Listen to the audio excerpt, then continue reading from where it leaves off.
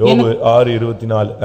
எனக்கு உபதேசம் பண்ணுங்கள் நான் மௌனமா இருப்பேன் நான் எதிலே தவறினேனோ அதை எனக்கு தெரியப்படுத்துங்கள். இது ஆண்டவர்ட்டையும் கேட்கணும் மனுஷன்ட்டையும் கேட்கணும். நான் எங்க மிஸ் பண்ணிட்டேன் ஆண்டவரை? நான் எதுல தவறிட்டேன்? பண விஷயத்துல தவறிட்டேனா? நான் அது என்ன? நம்ம இந்த புது இடத்துக்கு நல்ல புது இடம் வாங்கணும் இல்லையா? அந்த விஷயத்துல நான் நேற்று முந்தானத்து கூட உட்காந்து அறிக்கிட்டேன் நான் அதில் எதுலையாவது தவறிட்டேனா? பண விஷயத்துலையோ அனௌன்ஸ் பண்ண விஷயத்துலையோ காசு ஜனங்கள்கிட்ட வாங்கின விஷயத்துலையோ எங்கேயாவது நான் தவறிட்டேன் ஆண்டவரே? ஏன்னா அது ஒன்றுமே என்ன செய்யலை? ஃபார்வர்ட் ஆக மாட்டேங்க அப்படியே போராட்டமாகவே இருக்குது நான் எங்கே எந்த விஷயத்தில் பணத்தில் நான் தப்பு பண்ணேனா? கிடைச்ச பணத்தை நான் ஒன்றும் மிஸ்யூஸ் பண்ணவே இல்லை. அஞ்சு காசு கூட மிஸ்யூஸ் பண்ணல. ஒருவேளை இந்த கடனை காசு அங்கே வாங்கி இங்கே வாங்கி அவங்களுக்கு கொடுக்க சொல்லி இவங்களுக்கு கொடுக்க சொல்லி இதெல்லாம் நான் பண்ணதில்ல எதையாவது எங்கேயாவது தவறு நடந்துருச்சா? அது குற்றமா? தேவசித்தம் இல்லையா? அப்படி செஞ்சது தப்போ இப்படி செஞ்சது தப்போ இதில் செஞ்சுருக்க கூடாதோ இதை செஞ்சுருக்கலாமா? இப்படிலாம் எனக்குள்ள ஒரே கலக்கமும் போராட்டம் தான். ஏன்னா நம்முடைய அறிவு குறைவு. அவர் ஸ்கேல் வேற இல்லையா? அவருடைய மெஷர்மெண்ட் ஸ்கேலு வேற. அப்படி இருக்கும்போது நம்ம வந்து எந்தையாவது தப்பு பண்ணிட்டு மாட்டிக்குவோமோ குற்றவாளி ஆகிடுவோமோ அப்படின்னு ஒரு பயம். அதனால் நம்ம இப்போ ஆண்டோடு கேட்கணும் நான் எதில் தவறுனேன் சுவாமி? உம்முடைய பார்வையில் நான் எங்கே எங்கே இந்த இடத்துல மிஸ் ஆகிடுச்சா காசு விஷயத்தில் போய் மிஸ் பண்ணிட்டேனா? எங்கேயாவது பேச்சில் நடவடிக்கைகளில். இது நம்ம உட்காந்து என்ன செய்யணும்? இது வந்து சும்மா சோத்திரம் சோத்திரம். நான் பைபிள் வாசிக்கல சோத்திரம். ஆண்டவர் என்னை மன்னிக்கணும். ரொம்ப சிம்பிளாக பைபிள் படிக்கலையா? மற்றதெல்லாம் என்ன கதை? அதெல்லாம் எங்கே போச்சு? ஆ? பைபிள் படிக்கலை. சரி. வேறு? ஜெபிக்கலை உபவாசம் பண்ணலை. ரொம்ப சிம்பிளாக சொல்லிட்டு வெளியே போயிடுறதா? அப்படி கிடையாது. இன்னும் இருக்குது பூசணிக்காயெல்லாம் இருக்குது அதை மறைச்சி வச்சுட்டு வண்டி ஓட்ட முடியாது. ஆ. அதனால தான் அவர் கேட்குறாரு நான் எதில் தவறினேனோ அதை எனக்கு என்ன செய்யுங்க? ஆ? தெரியப்படுத்துங்க. என் பாவம் எத்தனை? கேட்குறார் அடுத்து. என் மீறுதலை எத்தனை? எனக்கு அதை உணர்த்துங்க. பதிமூணு இருபத்தி மூணு. என் அக்கிரமங்களும் பாவங்களும் எத்தனை? என் மீறுதலையும் என் பாவத்தையும் எனக்கு உணர்த்தும். அக்கிரமம் மீறுதல் பாவம். மூணுக்கும் தனித்தனி லிஸ்ட் போடுறாரு. அது எத்தனை? இப்ப நம்ம நம்ம அக்கிரமத்தெல்லாம் லிஸ்ட் போட்டு கொடுத்தா எத்தனை வரும்? ஒன்று கூட வராது அப்படின்னு சொல்றீங்களா? இல்லை வந்துடும்னு சொல்றீங்களா? ஒன்று தான் வரும் ரெண்டு தான் வரும். அப்படியா இருக்கு? அவன் கேட்குறான் என் அக்கிரமங்கள் எத்தனை? ஆனால் இது கேட்குற ஆள் வந்து பாவி கிடையாது. யாரவன் சொல்லுங்க. உத்தமன். உத்தமன். கத்தர் சொல்றாரு. கத்தர்ட்ட சாட்சி பெற்ற ஒரு ஆள் உத்தமன். ஆனால் இப்போ அவன் கேட்குறான் ஆண்டவரே என்னுடைய ஜீவிதத்தில் பாவங்கள் எத்தனை இருக்குது அக்கிரமங்கள் எத்தனை இருக்குது மீறுதல்கள் எத்தனை இருக்குது எங்கே நான் மிஸ் பண்ணிட்டேன்? எந்த இடத்துல நான் ஓவர்டேக் பண்ணிட்டேன்? உங்களுடைய வழிகளை விட்டு நான் எங்கே ஸ்லிப் ஆகிட்டேன் எனக்கு அதை சொல்லுங்கள் ஆண்டவர். எங்கே நான் தடுமாறினேன்? எனக்கு சொல்லுங்கள் கேட்குறான் இதுதான் கேட்குற நேரம். நீங்க இந்த நேரத்தில் உட்காந்துட்டு தலையை கோந்து போட்டு அங்கே இருந்துச்சு இங்கே இருந்துச்சு அங்கே பார்த்து இங்கே பார்த்து பிள்ளைகள்கிட்ட விளையாண்டு அப்படி விட்டுறக்கூடாது. இந்த நேரத்தில் உட்காந்துடணும் ஏதாம கண்ணை மூடிட்டு கத்தாவே நான் எங்கே தான் தவறினேன் சொந்தக்காரங்க மத்தியில வீட்டில் வேலையில எங்கே ஏய் எங்கே நான் மிஸ் பண்ணிட்டேன்? ஆண்டோடைய பாதத்துல நீங்க விழுந்து கேட்க வேண்டிய டைம் இது. இந்த டயத்தில் நீங்க வந்து நேரத்தில் வெளியவே போகக்கூடாது. உட்காந்துடணும் பேசாமல் உட்காந்து இந்த நேரத்தில். இன்னும் டைம் தர்றேன் நான். கேளுங்க. ஒரு பத்து நிமிஷம் நான் கேட்கலாமா? கத்தாவே நான் எதிலே தவறினேன். ஊழியத்தின் பகுதியில் நான் விசுவாசத்தில் பரிசுத்தத்தில் பிரதிஷ்டையில் தெய்வீகத்தில் பாடுபடுதலில். பாடுபடுதல்ல நான் எங்கெல்லாம் தவறினேன். விசுவாசிகள் நீங்கள் கேட்கலாம். கத்தாவே ஊழியத்தின் விஷயத்தில் நான் எங்கே தருமாறிட்டேன்? எந்த இடத்துல நான் அசட்டையாக செஞ்சேன்? எந்த இடத்துல அற்பமாக செஞ்சேன்? எந்த இடத்துல வேண்டான்னு ஒதுங்கி நின்னேன்? அஹ், வேலையில் நான் கழுத்தை கொடுக்காம ஒதுங்கி போன இடம் எது? பிரபுக்கள் அந்த நல்ல வேலைக்கு தங்கள் கழுத்தை கொடுக்கவில்லை. நான் அப்படி எந்த இடத்துல அப்படி செஞ்சிட்டேன் சுவாமி? என் மனைவியோட உள்ள டீலிங்கில் நான் எங்கே தவறு?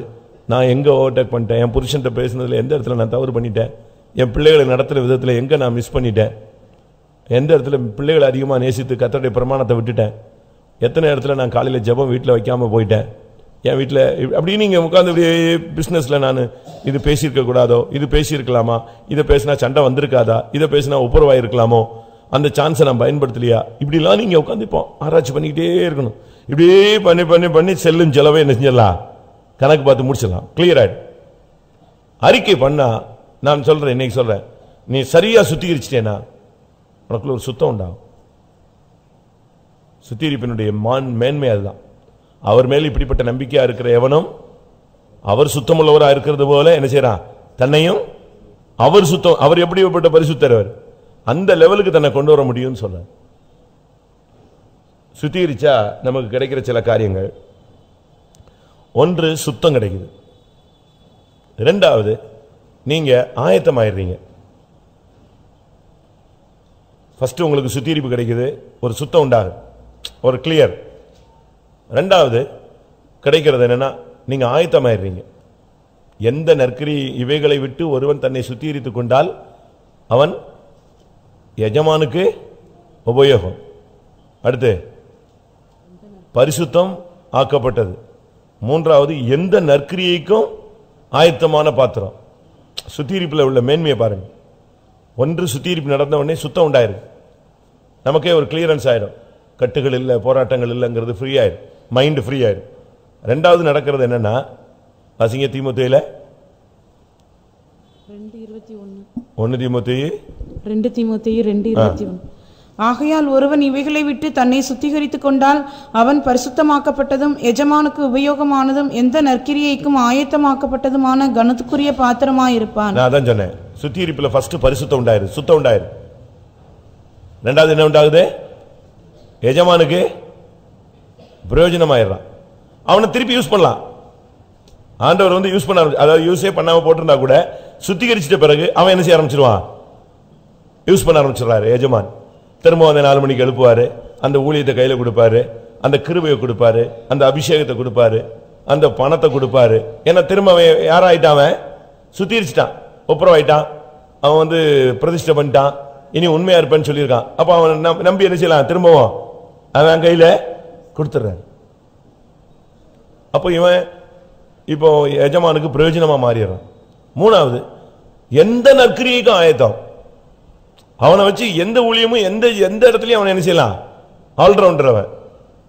சுத்திகரிக்கப்படலைன்னா ஒன்னுத்துக்கு யூஸ்லெஸ் ஃபெல் அவன். அவனை வச்சு தேவன் சபையிலையும் யூஸ் பண்ண முடியாது உலகத்துலையும் யூஸ் பண்ண முடியாது. அவனை அப்படியே ஒமிட் பண்ணிட்டு அவாய்ட் பண்ணிட்டே தான் வருவார். அப்படி வரவே கூடாது. சுத்திகரிப்பில் உள்ள மேன்மையே அதுதான். சுத்திகரிச்சிட்டா உன்னைய கத்தர் யூஸ் பண்ணுவார். அவன் கணத்துக்குரிய பாத்திரனாய் மாறினான் அதான் பெரிய அதிசயம். சும்மா குப்பையில் கிடந்தவனை எப்படி மாத்திடுறாரு? ஆ? கனத்துக்குரியவனாய் மாத்துறார். சிறைச்சாலையில் கிடந்த பானபாத்திரக்காரனை அடுத்த நாளே ராஜாவுக்கு பானபாத்திரக்காரனை கொண்டு வர முடிஞ்சது இல்லையா தெய்வத்துக்கு? அதான். சிறைச்சாலையில் கிடந்தவனை ராஜாவுக்கு அடுத்த ஸ்தானத்தில் கொண்டு வர முடிஞ்சது இல்லையா? அடிமைப்பட்ட தேசத்தில் இருக்கிறவனை ராஜ்யத்தின் மூணாவது அதிபதியாக கொண்டு வர முடிஞ்சது இல்லையா? அதுக்கெல்லாம் காரணம் சுத்திகரிப்பு தான் அழுகுதான். அழுது அழுது அழுது அழுது அழுது தங்களை தாழ்த்தி சுத்திச்சிட்டே இருக்கும். அடுத்து சுத்திகரிச்சிட்டீங்கன்னா உங்களுக்கு ஒரு பாதுகாப்பு இருக்கும். சுத்திகரிப்பு இல்லாத வரைக்கும் தான் பிசாசு உள்ள வந்துகிட்டே இருப்பான்.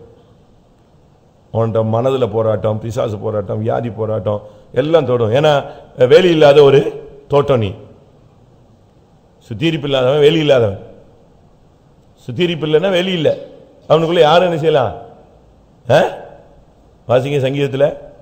நீர் அவனுடைய வேலியை அடைப்பெல்லாம் பிடுங்கி போயிட்டு இப்ப காட்டு பன்றிலாம் உள்ள வந்து உழுகுது ஐயா. என்னையா வேலி எடுத்துட்டீங்களே அப்படின்னு கேட்கறான் வாசிங்க எழுபத்தி. எண்பது பனிரெண்டு. இப்பொழுதோ வழிநடக்கிற யாவரும் அதை பறிக்கும்படியாக அதன் அடைப்புகளை ஏன் தகர்த்து போட்டீர்? காட்டுப்பன்றி அதை உழுது போடுகிறது வெளியின் மிருகங்கள் அதை மேய்ந்து போடுகிறது. எல்லாம் உள்ள வருது இல்ல? வேலி இல்ல. அதனால யார் வரா? காட்டுப்பன்றி வருது அடைப்பெல்லாம் போயிட்டுச்சு எல்லாம் உள்ள வருது. சுத்திகரிச்சு பாரு. வேலி அடிச்ச மாதிரி. அது பாதுகாப்பானது. பொல்லாங்கன் அவனை பொல்லாங்கன் அவனை தொடான். அதுதான் கரெக்ட் தேவனால் பிறந்தவன் தன்னை காக்கிறான். பொல்லாங்கன் அவனை தொடான். ஒன்னு யோவான் ஐந்து பதினெட்டு. அஞ்சு பதினெட்டு. தேவனால் பிறந்த எவனும் பாவம் செய்யான் என்று அறிந்திருக்கிறோம். அதான் தேவனால் பிறந்தவன் தன்னை காக்கிறான் பொல்லாங்கன் அவனை தொடான். தொடான். அது பாதுகாப்பான வாழ்க்கை சுத்திகரிப்பு. பிசாசு வந்து சொல்ல முடியாது. நான் வியாதியை கொண்டு வந்தது காரணம் இதுதான் அப்படின்னு சொல்ல முடியாது. என்ன வியாதி வர்றதுக்கு உள்ள என்ன கிடையாது? வழி இல்ல. கத்தர் வேலை அடைச்சிட்டாரு. அதனால அந்த விஷயத்தில் நம்ம சுத்திகரிச்சிட்டீங்கன்னா நீங்க வேலை அடைச்ச மாதிரி. ஃபுல்லா நீங்க ஃபென்ஸ் பண்ணிட்டீங்க. உள்ள வர முடியாது. சுத்திகரிக்கலன்னா நீ திறந்து கிடக்கிற ஒரு அஹ், தோட்டம். வெளியின் மிருகங்களும் வரும் காட்டு பன்றியும் வரும். உழுதும் உள்ள. ஒண்ணுமில்லாமக்கிவிடும். அடுத்து சுத்திகரிக்கப்பட்டா வாசனை உள்ள ஒரு ஜீவியம். நம்ம நாற்றங்கள் போயிடுது. சுத்திகரிப்புக்கு இப்ப நீங்க பாருங்க செத்து போன சரீரத்தை செத்து போயிடுச்சு. அதுக்கு என்ன பண்றாங்க? ஒரு சுத்திகரிப்பு உண்டாக்குறாங்க. எம்பாம் அது பண்ண பிறகு அதில் என்ன வராது? ஸ்மெல் இருக்காது. அந்த கெமிக்கல் ஸ்மெல் தான் என்ன செய்யும்? வாசனை தான் இருக்கும். ஆதியாகமா ஐம்பது ஒன்றில் பாருங்கள் யோசிப்பு தன் ஊழியக்காரராகிய வைத்தியர்களுக்கு கட்டளையிட்டான். அவர்கள் மறித்த யாக்கோபின் சரீரத்துக்கு சுகந்த வர்க்கங்களை இட்டார்கள். அதுக்கு பிறகு அந்த சரீரத்தில் என்ன கிடையாது? நாத்தம் கிடையாது. செத்து ஒரு ரெண்டு மணி நேரத்தில் நாற்றம் எடுக்கிற சரீரம் வருஷக்கணக்காக நாற்றம் எடுக்காமலே மாறிடுச்சு. ஆ. பின்பு தன் தகப்பனுக்கு சுகந்த வர்க்கமிடும்படி யோசிப்பு தன் ஊழியக்காரராகிய வைத்தியருக்கு கட்டளையிட்டான். அப்படியே வைத்தியர் இஸ்ரவேலுக்கு சுகந்த வர்க்கமிட்டார்கள். செத்து போனவனுக்கு சுகந்த வர்க்கம் விடுறது தான் எது நம்முடைய ஜீவிதத்தில் எவ்வளவோ மரணங்கள் இருந்தது. நாற்றம் எடுக்கிற ஜீவியம். நாத்த எடு அதாவது அந்த செத்து போனதான மரியாளுடைய சாரி லாசருடைய அக்கா சொல்றா என்ன சொல்றா? ஆண்டவரே இது நார். நம்முடைய பேச்சு நம்முடைய வார்த்தைகள் நம்முடைய பழக்க வழக்கங்கள் நம்முடைய பழைய காரியங்கள்லாம் நமக்கு ரொம்ப கெட்ட பேர் இருந்துருச்சு நம்மளை பற்றி தாறுமாறாக பேசிட்டாங்க. அதெல்லாம் ஒரு நாற்றம் எடுத்த ஒரு தன்மை. சண்டைக்காரன் சண்டைக்காரி வாயாடி அங்கே பேசினா அவளை அவளை தெரியாதா இவனை தெரியாதா இவனை பற்றி தெரியாதா?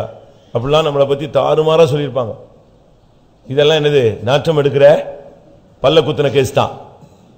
பல்ல குத்துன கேஸ் நாமும் எழுப்புதல் வந்துட்டா இந்த யானை மண்ணெல்லி போட்ட மாதிரி நம்மளும் என்னெல்லாமோ செய்கிறோம் தலையில் மண்ணலி போட்டுக்கிறோம். ஆனால் இப்போ சுத்திகரிப்புங்கிறது அப்படி அல்ல. சுத்திகரிச்ச உடனே என்ன உண்டாயிருது? அந்த நாற்றத்தினுடைய தன்மையே போய் அந்த சுத்திகரிப்பினுடைய வாசனை தான் என்ன செய்யும்? வீசும். அதுதான் அதனுடைய மேன்மை. நம்முடைய ஜீவியத்தில் வாசனை கெட்டு போயிருக்கு. அந்த வாசனையை மறுபடியும் தெய்வீகமாய் மாற்றுகிறதா? சுத்திகரிப்பு. மரணத்தை மறைக்கும். மரணத்தை மறைப்பது சுத்திகரிப்பு. சாவை மறைச்சிடும் அப்படியே மறைச்சிடும் அடுத்து சுத்திகரிப்புல நமக்கு சுத்த மனசாட்சி கிடைக்குங்க. ஃப்ரீயாக இருக்கும். சுத்திகரிச்சிட்ட பிறகு பாவம் உண்டு என்கிற தன்மை என்ன செய்யாது? இருக்காது. பா சுத்தி நல்லா சுத்திகரிச்சிட்டீங்கன்னா இனி பாவம் உண்டுங்கிற ஒரு உணர்வு என்ன செய்யாது? இருக்காது. இன்னைக்கு விட்டால் பறந்துடலாம். அந்த தன்மை அந்த உணரலாம். நம்மளை விட்டு சுத்தமாக போயிடும். அடுத்து சுத்தியிருப்பினுடைய அடுத்தது முகம் பிரகாசிக்கும். அகத்தின் அழகு எங்க தெரியும்? முகத்துல தெரியும். தெரிஞ்சிடும் சுத்திகரிப்பு கரெக்டா இருக்கா இல்லையான்னு தெரியும். சும்மா இருக்காது. மோசை தேவ சமூகத்துக்கு போனான் திரும்பி வந்தான். அவனுடைய முகம் எப்படி இருந்துச்சு? பிரகாசித்தது. ஏன்னா அவன் யாரை போய் பார்த்துட்டு வரா? தேவனை முகமுகமாக பார்த்துட்டு வர்றான் தேவனை முகமுகமா பார்த்த பைபிள் படி என்ன சொல்லியிருக்கு? சொல்லுங்க. தேவனை முகமுகமா பார்த்தா ஒருவரும் கண்டிராதவரும் காண கூடாதவரும். ஒரு தூதனை பார்த்துட்டு ஒருத்தன் ஓன்னு கத்திட்டான். யாரு? சிம்சோனுடைய அப்பா. ஐயோ நான் பார்த்துட்டேனே முகமுகமா பார்த்துட்டேனே அப்போ பிரமாணத்தின் படி நான் என்ன செஞ்சாகணும்? செத்துல போகணும்னு சொன்னான். எப்படி இருக்கும்? ஆனா அந்த தேவனை அவ்வளவு பரிசுத்தமான தேவனை அவன் பார்த்துட்டு வந்தான். காரணம் என்ன? அவனுக்குள்ள குற்றம் இல்லை. பார்த்துட்டு வரும்போது முகம் என்ன பிரகாஷ் நம்ம பாருங்க சர்வீஸ் முடிச்சு போறோம். வரும்போது ஒரு ஜீரோ வால்ட்டில் வரோம். போகும்போது மைனஸ் ஜீரோ வால்ட்டில் போகிறோம் அப்படியே போனோம். இங்கே வந்து பிக்கப் ஆயிட்டுல நீ போனோம். போகும்போது உன் முகம் பிரகாசித்ததை மற்றவங்க பார்க்கணும். என்னப்பா? ரொம்ப துக்கமாக போனால் சந்தோஷமாக வரேன் ஆமாம் ஆண்டர் என்கிட்ட பேசினார்ல. என்னை ஆசீர்வதிப்பேன்னு சொல்லியிருக்காரு. எனக்கு தரிசனம் கொடுத்தாரு. எனக்கு ஒரு வசனம் கிடைச்சது. அதுதான் என்னது? முக பிரகாசம். பாவத்தை விட்டுட்டு பரிசுத்தத்தின் ஒரு சாயல் தான் முகப்பிரகாசம். அடுத்து சுத்திகரிக்கப்பட்டோம் என்று சொன்னா உன்னுடைய லைஃப் ஸ்டாண்டர்டு ஸ்டைல் மாறும். ஸ்டாண்டர்டே மாறும். ஸ்டைல் மாறுறதை விட நீ ஸ்டைல் உனக்கு வெளியே இருந்து பார்த்தா மற்றவங்க பார்வையில் உன் ஸ்டைல் மாறும். தேவன் உன்னுடைய ஸ்தானத்தை என்ன செய்வாரு? உயர்த்துவார். அதான் பெரிய தன்மை. அந்த ஸ்டெப்புக்கு அடுத்து டக்குன்னு பயந்துருவான் நைட்டெல்லாம் உட்காந்து தானியில் அழுதாங்க. கதாவே இந்த ராஜா ஏதோ சொப்பனம் பார்த்துட்டான்னு சொல்கிறான் ஆண்டவரே சொப்பனமும் சொல்லணுங்கிறான் சொப்பனத்துக்கு அர்த்தமும் சொல்லணுங்கிறான்னு சொல்லி உட்காந்து சுத்திருச்சு சுத்திருச்சு சுத்திருச்சு ஜெபிச்சான். அடுத்த நாள் காலையில் போய் சொப்பனத்துக்கு அர்த்தம் சொல்லி முடிச்சு அடுத்த செகண்ட் எங்கே வந்துட்டான்? டக்குன்னு உடனே அடுத்த ஸ்தானம் உயரும் அதுதான் நம்முடைய ஜீவியத்தில் சுத்திகரிப்பினுடைய மேன்மை. சுத்திகரிக்கப்பட்டுட்டீன்னா உன்னுடைய பிஸ்னஸோ உன்னுடைய தொழிலோ உன்னுடைய குடும்பமோ உன்னுடைய தனிப்பட்ட ஸ்தானமோ ஒரு ஸ்டெப் ஏறும். நம்புறீங்களா? இப்போ நீங்கள் அஃபிஷியலாக நீங்கள் ஒரு எக்ஸாம் எழுதுறீங்க டிபார்ட்மெண்ட்டில் பாஸ் ஆயிடுறீங்க. அது எக்ஸாம் எக்ஸாம்னா பரீட்சை. அப்போ அது அது முடிஞ்ச உடனே அது ரிசல்ட் வந்து கொஞ்சம் நல்ல உங்களுக்கு என்ன கிடைச்சிருது அடுத்து? சொல்லுங்க. என்ன கிடைக்குது? ப்ரொமோஷன் கிடைக்குது. அதுபோல் சுத்திகரிப்பு கரெக்டாக இருந்தால் உன்னுடைய ஸ்தானத்தை கத்தர் என்ன உயர்த்துவார். அதான் முக்கியமானது. சுத்திகரிப்பு கரெக்டாக இருக்கணும். எக்ஸாம் பாஸ் ஆயிட்டியா? அந்த சுத்திகரிப்பு நீ உட்காந்து உன்னை நீ ஆராய்ந்து அழுது சரிப்படுத்தி நீ உன்னை கரெக்ட் பண்ணு உன் ஸ்தானத்தை கத்தர் என்ன சரியான விதத்தில் உயர்த்துவார். அதுக்கு பிறகு அந்த சுத்திகரிப்பினுடைய அடையாளத்தை சொல்கிறேன் சுத்திகரிக்கப்பட்டு கரெக்டாக உன்னுடைய பாவங்கள் மன்னிக்கப்பட்டு வந்துச்சுன்னா உன் மைண்டு ரெஃப்ரெஷ் ஆகி அதை ஃப்ரெஷ் ஆகி உன்னுடைய எண்ணங்கள் எல்லாம் ரொம்ப நல்லா உதிக்கும். அது வரைக்கும் இந்த குறுக்கட் மைண்டு தான் வேலை செஞ்சுக்கிட்டே இருக்கும்.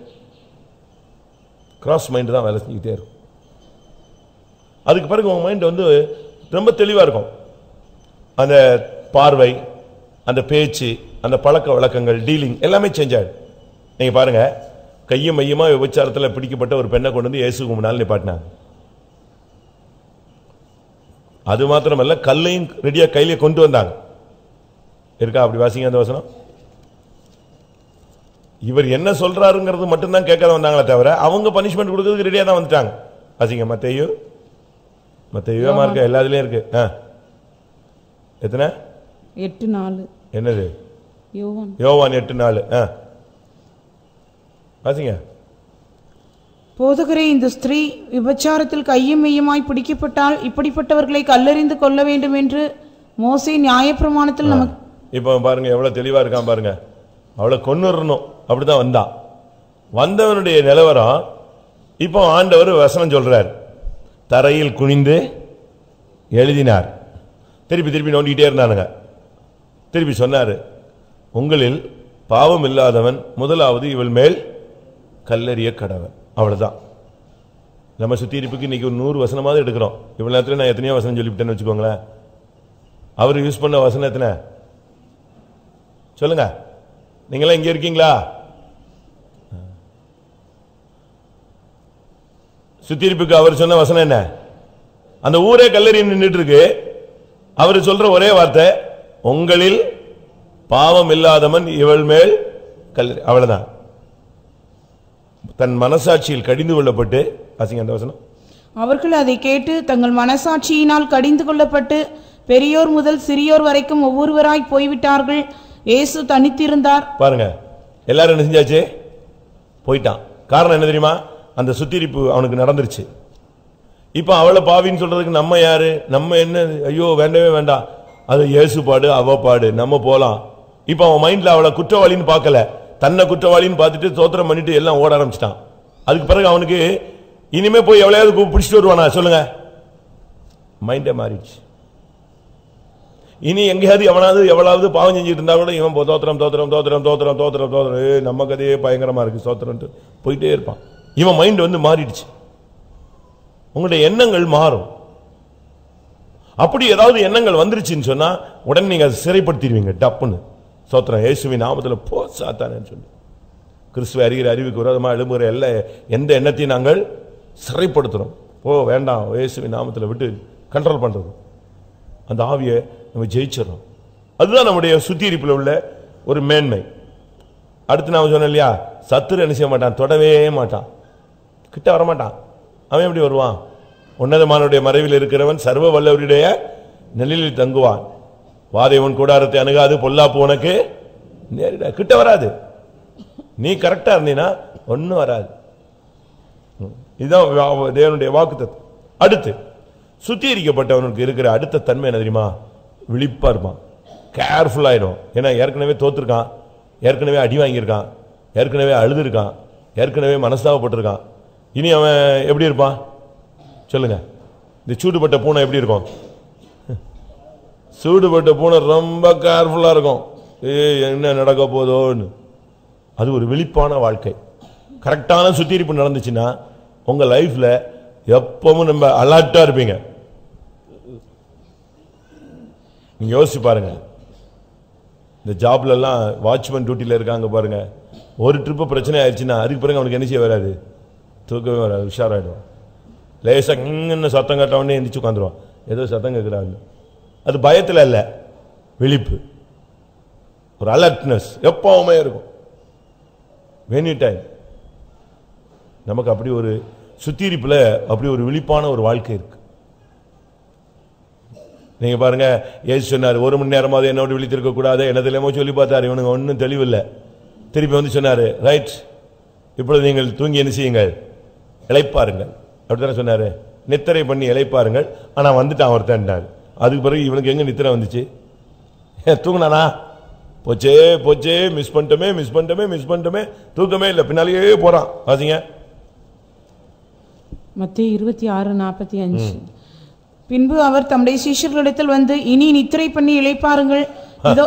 அதுக்கு முன்னால சொன்னாரு நீ என்னையோட கூட இருக்க கூடாதாப்பா அப்படி இப்படின்னு சொன்னாரு. இவன் தூங்கி தூங்கி தூங்கி தூங்கி ஒரு வழி ஆயிட்டான். இப்போ வந்து அவர் சொல்றது என்னது? நித்திரை பண்ணி இளைப்பாருங்கன்னு சொல்றாரு. ஆனா எங்க இளைப்பாற முடிஞ்சது? ஆ.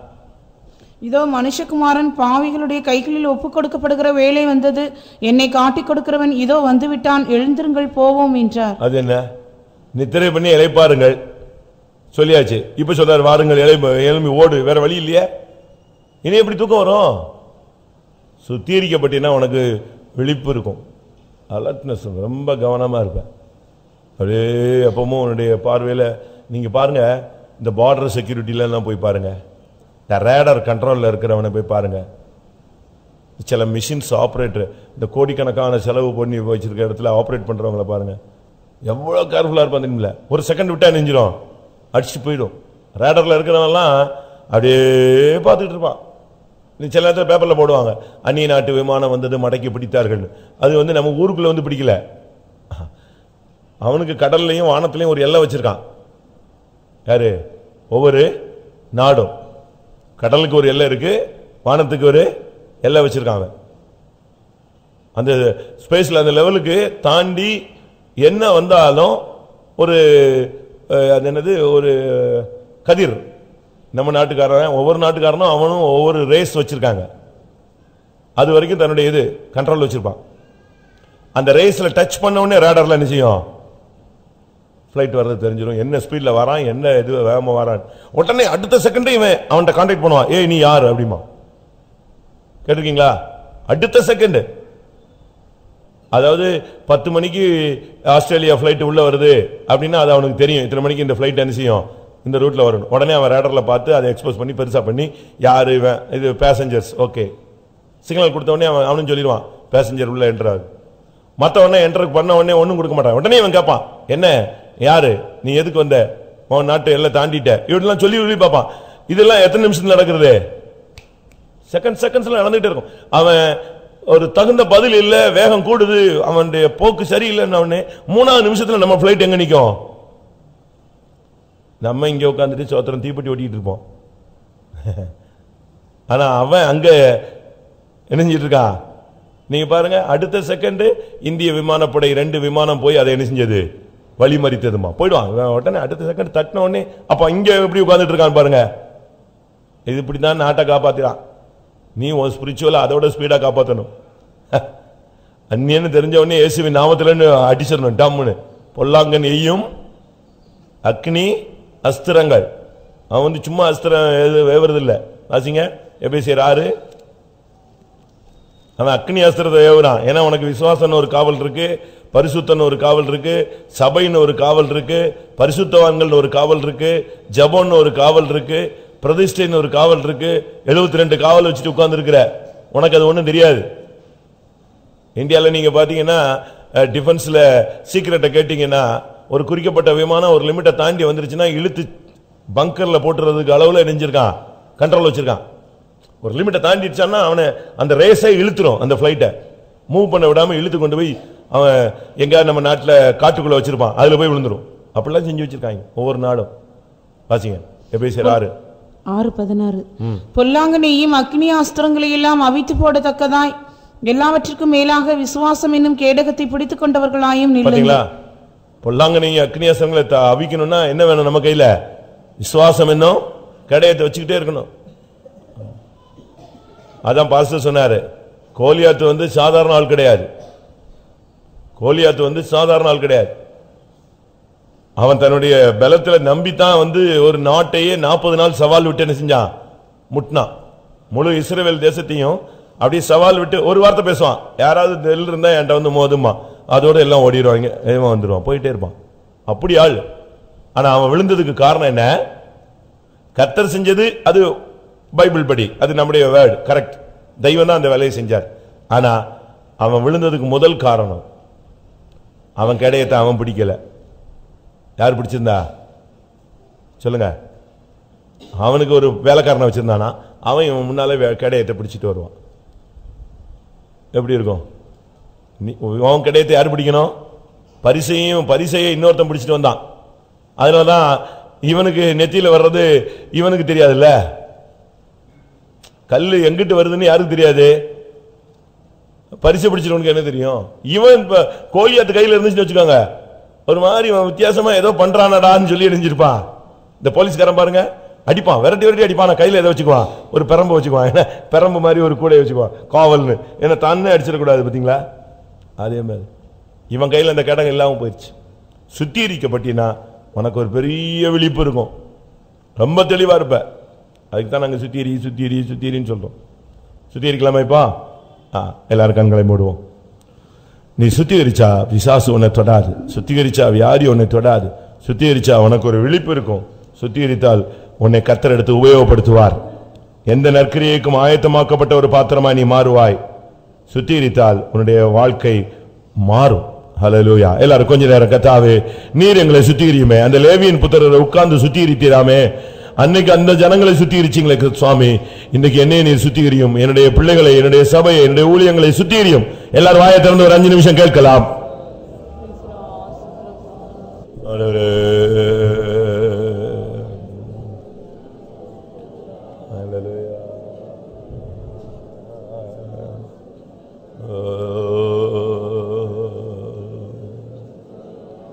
Hallelujah.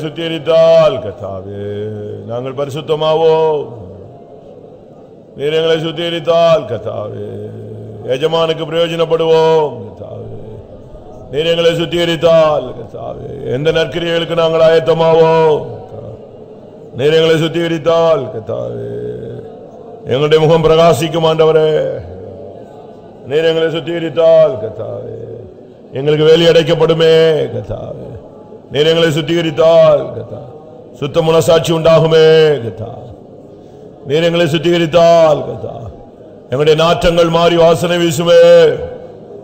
நீர் எங்களை சுத்திகரித்தால் கத்தா எங்களுடைய முகம் பிரகாசம் அடையுமே. நீர் எங்களை சுத்திகரித்தால் எங்களுடைய ஸ்தானம் உயருமே. நீர் எங்களை சுத்திகரித்தால் எங்களுடைய எண்ணங்கள் ஜெயிக்குமே.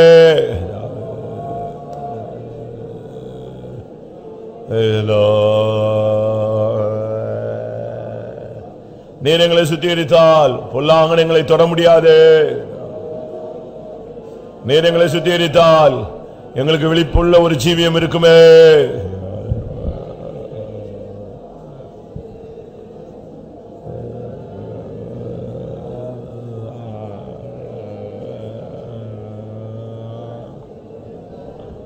நாங்கள் எதில் தவறினோமோ அதை எங்களுக்கு தெரியப்படுத்தும் ஆண்டவரே. எங்களுடைய ஊழியத்தில் எங்கே தவறினோம் எங்களுடைய ஜீவியத்தில் எங்கே தவறினோம் எங்களுடைய வேலை ஸ்தலங்களில் எங்கே தவறினோம் எங்களுடைய தொழில் விஷயங்களில் எங்கே தவறினோம். ஆண்டவரே எங்களுடைய ஜனங்கள் குடும்ப வாழ்க்கையில் எந்தெந்த இடங்களில் தவறினார்கள் பிள்ளைகள் வாலிபர்கள் எங்கே தவறினார்கள். கசாவே அதை தெரியப்படுத்தும் ஆண்டவரே. எங்களுடைய அக்கிரமங்கள் எங்களுடைய பாவங்கள் எங்களுடைய மீறுதல்கள் எத்தனை ஆண்டவரே. அல்லேலூயா வாய திறங்க வாயை திறங்க. கத்தரோடு நெருங்கி வாருங்க. அறிக்கை கத்தரை நெருங்கி கொண்டு வரும். இருதயம் நொறுங்கொண்டவர்களுக்கு தேவன் சமீபமாய் வருகிறார்.